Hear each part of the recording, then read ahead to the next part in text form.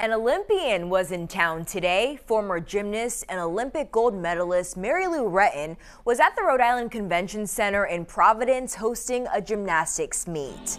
The competition raises money for her daughter's foundation that supports mental health related charities. This morning, Retton also got to meet a very special local fan. Lisa Keswick was a gymnast who looked up to Retton, and when she suffered third degree burns as a child, Retton signed sent her a signed photo. Today, Keswick got to finally meet Retton and share her story, even bringing the Olympian to tears. You know, people always say, oh, what you did was heroic. No, it wasn't. it's people like you. Oh, I didn't know I'm glad I could have been a part of that. Yeah. that you watched and well, you inspired a whole generation of, of girls, including including me. And the story comes full circle too as Keswick's daughter, who's also now a gymnast, competed in today's competition.